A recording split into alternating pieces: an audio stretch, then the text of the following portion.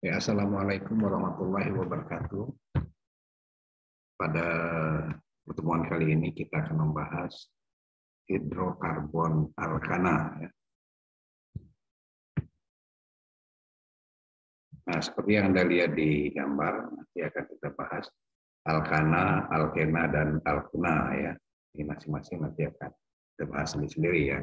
Tapi pada kesempatan ini kita akan bahas tentang alkana. Nah, di pembahasan tentang Alkana nanti akan kita uraikan. Yang pertama itu tentang tata nama ya. Tata nama. Kemudian isomer ya. Kemudian sifat-sifat ya. Kemudian pembuatan dan kegunaan. Ya. Nah, sekarang kita lihat tata nama Alkana. Nah, seperti yang dilihat itu, yang kita lihat di atas itu adalah CH3. Yang pertama itu CH3, yang kedua itu CH. Kemudian ada cabang metilnya di CH3 di bawah, ya, tanda panahnya ke bawah. Kemudian yang ketiga itu khas CH2.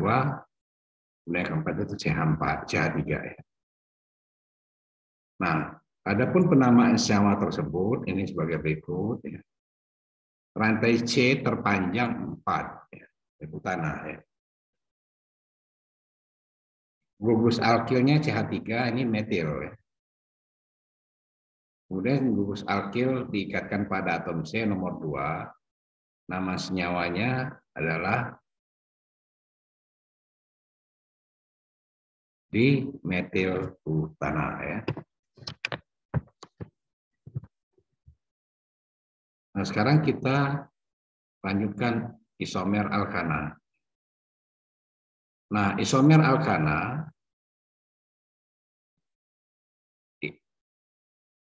isomer kerangka ya adalah senyawa yang mempunyai rumus molekul sama ya. Tetapi kerangka rantai karbonnya berbeda. Nah, itu lihat di gambarnya ya. Dia sama. Rumus molekulnya sama tapi kerangka rantai karbonnya berbeda.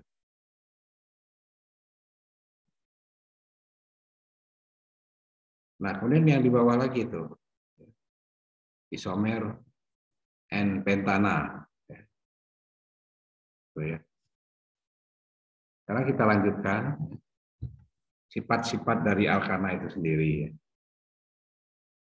Nah, sifat yang pertama sifat fisika ya. Nah, sifat, sifat fisikanya yaitu tidak larut dalam air.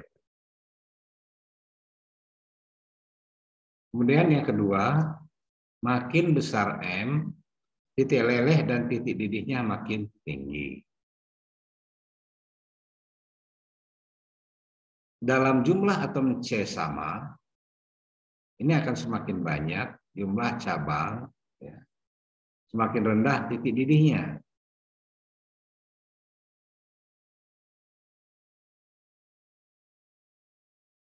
Kemudian yang keempat ya sifat fisikanya C1 sampai C4 itu berwujud gas ya. Kemudian C5 sampai 17 berwujud cair dan C18 ke atas berwujud padat. Nah, ini sifat fisika. Nah, kemudian sifat kimia ya. Ini sukar bereaksi dengan zat pengoksidasi atau produksi sukar sekali untuk bereaksi. Ini sifat alkana. Nah kemudian sifat kimianya lagi dapat bereaksi dengan oksigen melalui reaksi pembakaran. Kalau ada reaksi pembakaran baru dia bisa bereaksi dengan oksigen.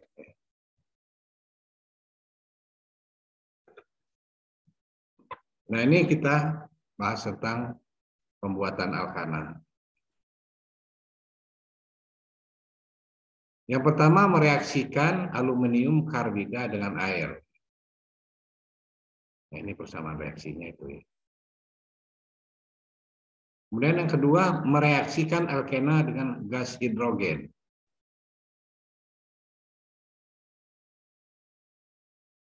Kemudian synthesis woods Kemudian sintesis Grignard, yaitu bersama reaksinya sendiri ya di bawahnya. Kemudian sintetis Dumas, ini Na asetat, Na asetat, kemudian hasilnya akan menjadi metana.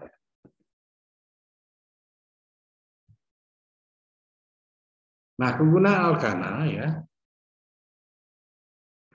Yang pertama itu sebagai bahan bakar.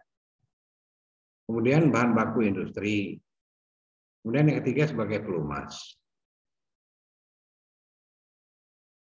Nah, sebagai bahan bakar, alkana akan menyusun LPG, bensin, solar, dan aftur. Kalau sebagai bahan baku industri, alkana digunakan sebagai bahan baku industri plastik, pupuk, dan deterjen. Nah, sebagai pelumas ya, alkana rantai panjang digunakan sebagai oli. Ya. Itulah kegunaan dari alkana. Ya.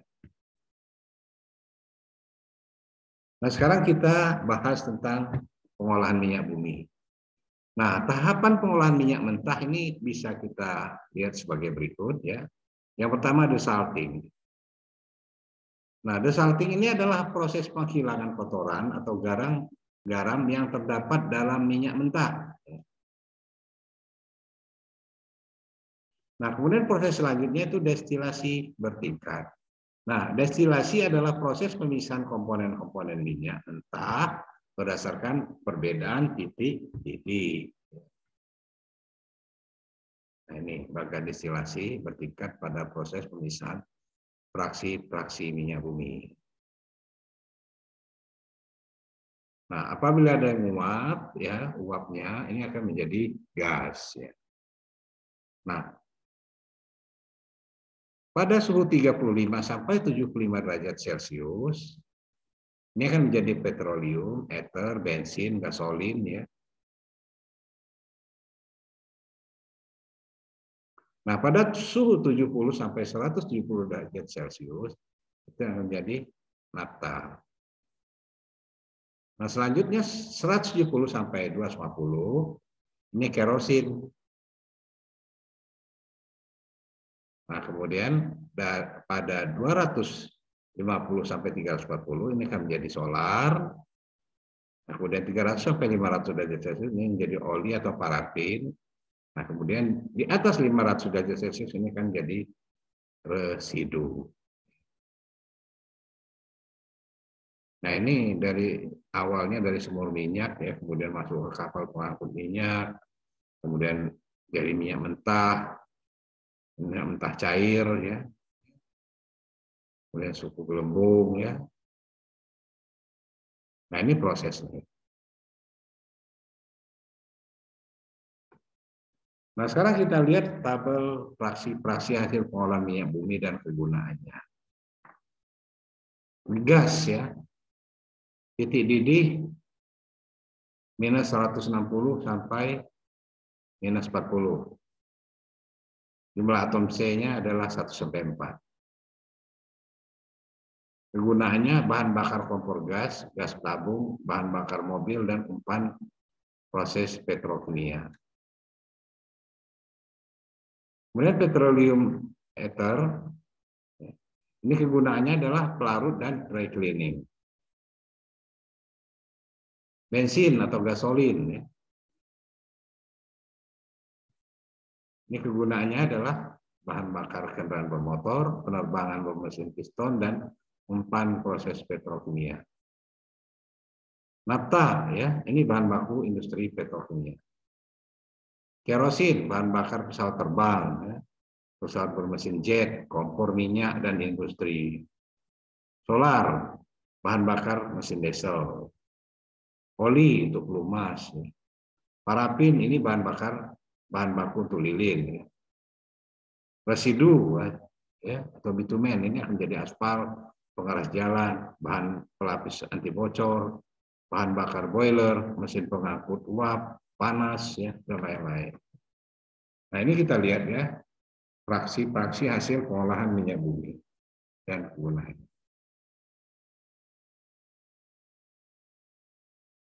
Nah sekarang kita lihat bensin dan dampak pembakaran bahan bakar gas. Ini kita lihat bensinnya ada kualitas bensin nanti ya, ada dampak pembakaran bahan bakar gas. Sekarang kita lihat bensin.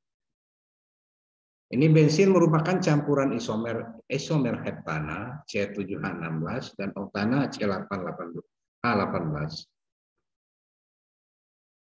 Nah, bensin yang diperoleh dari proses destilasi bertingkat jumlahnya relatif sedikit. Nah, bensin juga diperoleh dari proses kertakan atau cracking dan perengkahan termal.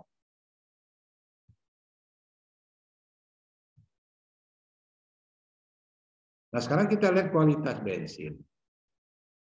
Ini ditentukan berdasarkan bilangan oktan atau angka oktannya.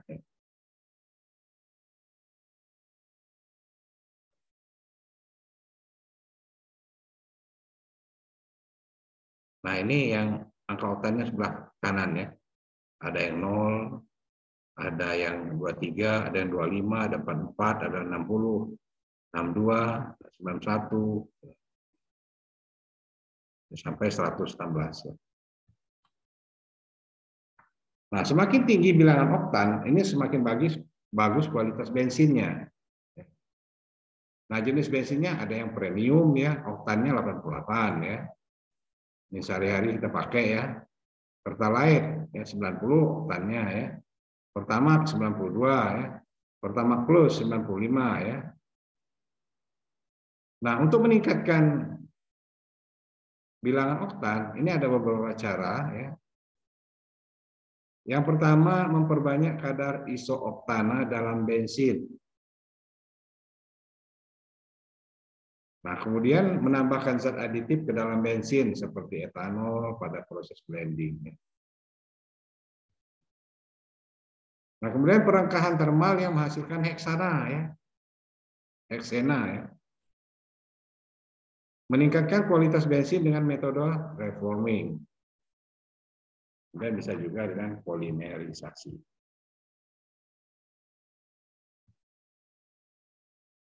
Nah, sekarang kita lanjutkan dampak pembakaran bahan bakar.